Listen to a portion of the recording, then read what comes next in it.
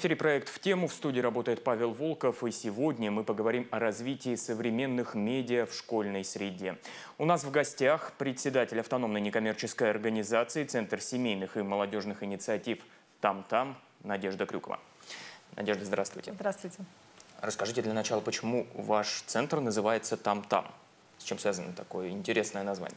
А, на самом деле это очень старая история, а, когда мы только начинали свою общественную деятельность.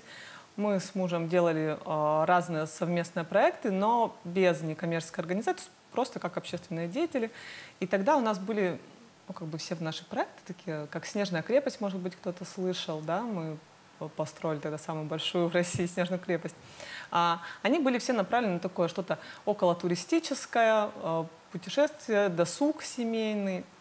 Вот. И поэтому, ну, чтобы так сказать, запоминающееся было, где ты был, там-там. Вот мы решили оставить там-там. А потом уже, создавая некоммерческую организацию, пришли к тому, что вроде как досуг это ну, как бы что-то большего хочется, дальнейшего да, развития. И чтобы заложить э, какое-то дальнейшее развитие организации, да, мы решили ее назвать немножечко подлиннее, тем более, что некоммерческие организации должны называться так объемно и понятно о чем идет речь. Вот, поэтому там-там осталось и добавились семейные молодежные инициативы. Надежда, расскажите, в какой момент случился перелом в движении организации? От туризма перешли к медиа. Вот как произошел этот переход? Ну, там был, ну, как бы и туристические были, конкурсы всевозможные, э, не знаю, конкурсы рисунков на асфальте, просто рисунков. Потом мы как-то сделали конкурс «Дети о победе». Ребята читали стихи. Э, и мой супруг, да, он занимается современной графикой, и мы решили попробовать направление фильмов. То есть не просто короткие ролики там, о победе, да, а стихи записывать, а решили предложить детям снять фильмы о людях, которые живут среди них. То есть найти в них героев. Не человека, там, паука или супермена, да, а обычного человека, и найти, почему он является героем. Справились дети? Задача достаточно сложная. Да, справилась, справились. Э, в проекте приняло участие 20 команд, сняли они 20 фильмов. То есть там были и о э, пожарных, о тренерах, о ликвидаторах Чернобыльской АЭС было, то есть были об, об учителях чаще всего, конечно, они делали, ну, потому что это, видимо, что для них ближе, да-да-да. Вот, они справились, и самое главное, что у них поменялось немножко мировоззрение. То есть, на самом деле, в начале проекта они вообще не знали, что нам делать, как, в смысле герой. Вот. А потом уже, когда стали этих людей ближе да, узнавать, э, про них снимая фильмы, знакомиться с ними. Как-то помогали участники организации вот, найти в обычных людях героев? Да, мы ну, в тот момент у нас были мастер-классы для них всевозможные, то есть мы также им помогали по сценарию, справиться с операторской, с операторской работой, с монтажом, потому что ребята некоторые это делали вообще впервые, для них это все было новое. У нас были собрания, да, индивидуально с каждым общались, помогали, подсказывали, если у них не было идей. Но так как они все равно представляли какие-то свои организации или школы, например, да, то у них еще был куратор при школе, допустим, или при спортивной секции, который их тоже направлял, как-то подсказывал. Ну и так вы переросли в такой большой проект. У вас, я насколько знаю, даже есть своя собственная студия, передвижная телевизионная станция. Вот расскажите про эти новинки, в рамках какого проекта удалось их получить. Да, ну, не сразу мы так в этот проект переросли. На самом деле у нас еще был проект создания школьно-молодежного СМИ в городе Рыбинск. Мы полтора года занимались с ребятами именно по Рыбинску, да, создали свою собственную студию. А, мы ведем из нее прямые эфиры еженедельно. Ребята снимают репортажи, сюжеты о жизни города, о том, что их интересует. А, фоторепортажи делают, то есть совершенно разносторонние Год мы выпускали еще журнал, печатное издание, были официальным средством массовой информации. Мы, наверное, вернемся к интернет-изданию, ну, то есть вернем себе статус СМИ, но только как интернет-издание. Для этого а, мы, собственно, и хотим развиваться дальше, привлекать регион. Вот. И как раз наш новый проект, который мы тоже выиграли на средства от фонда президентских грантов, получили поддержку, он называется «Медиа-трамплин. Погружение в профессию». Он стал как бы продолжением того, что мы делали с рыбинскими школьниками. То есть ребята, которые у нас остались с прошлого проекта, они сейчас нам активно помогают, э, волонтерят. Вот, э, прямые эфиры каждую неделю со специалистами мы делаем с ними вместе. А уже дальше, да, у нас планируются практикумы по небольшим городам и селам Ярославской области для уже школьников, которые живут далеко от нас. Для этого мы собрали мобильную телестудию на колесах. Вот. У нас там есть все и камеры, микрофоны, наушники, передатчики. Прямой эфир будет?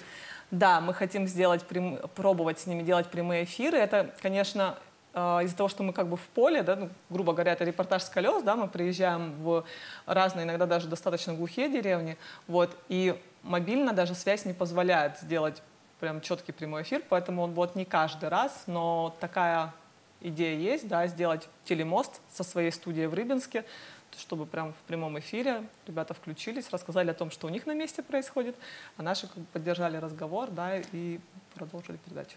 А ребята будут выступать только в качестве корреспондентов или они также будут осваивать и профессии инженеров, режиссеров, операторов, видеомонтажеров? В рамках практикумов мы будем делать репортаж от нуля до завершения. То есть придумываем тему вместе с ними, сценарии они пишут, мы их просто поддерживаем, помогаем, направляем, там иногда правим что-то.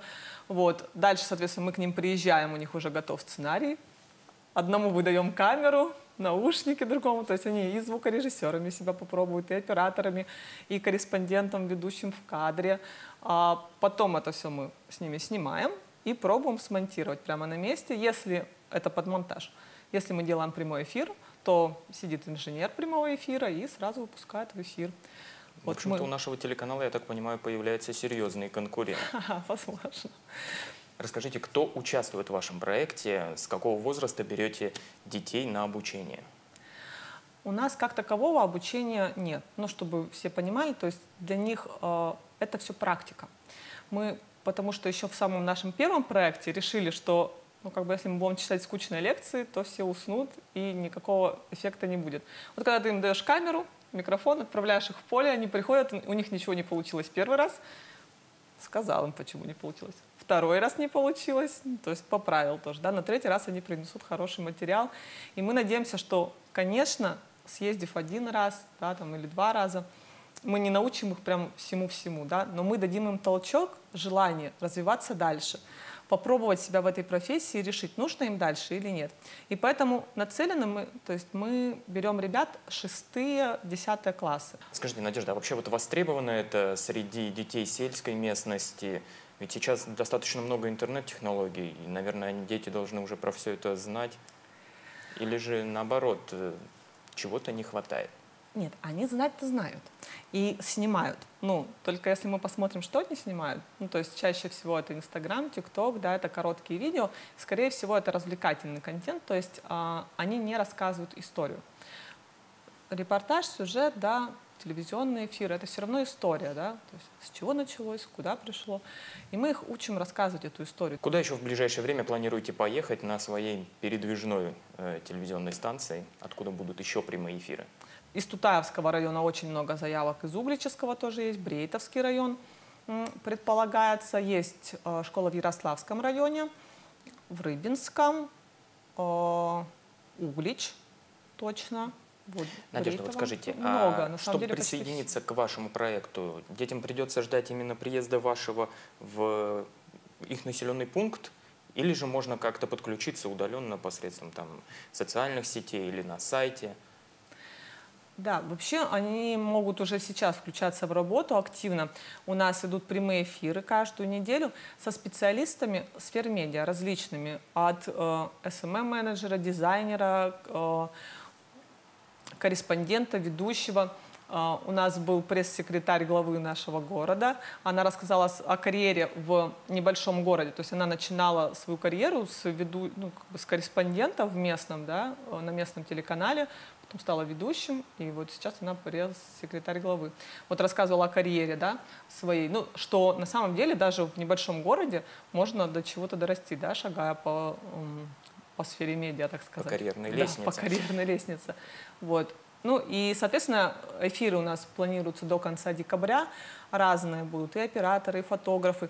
И даже если вы не посмотрели прямой эфир, то можно посмотреть его в записи, вернуться, а, послушать для того, чтобы дети поняли, что есть другие профессии. А интервью у представителей разных профессий кто берет? Вы или же сами дети? Нет, нас берут э, дети, подростки, которые у нас занимались раньше, которые у нас сейчас в нашей студии занимаются в Рыбинской.